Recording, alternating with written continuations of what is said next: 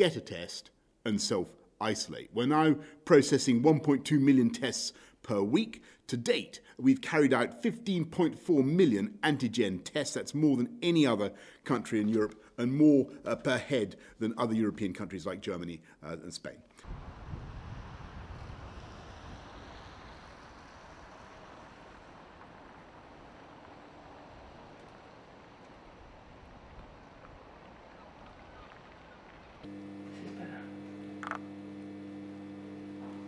Because the way we have to get it is quite tricky.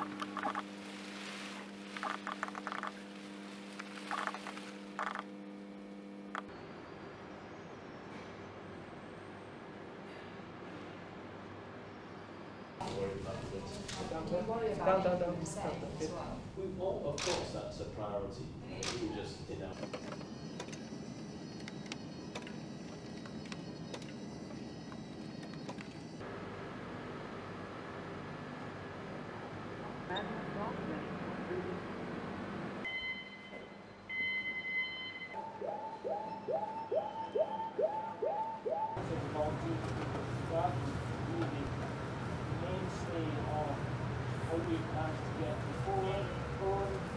social care.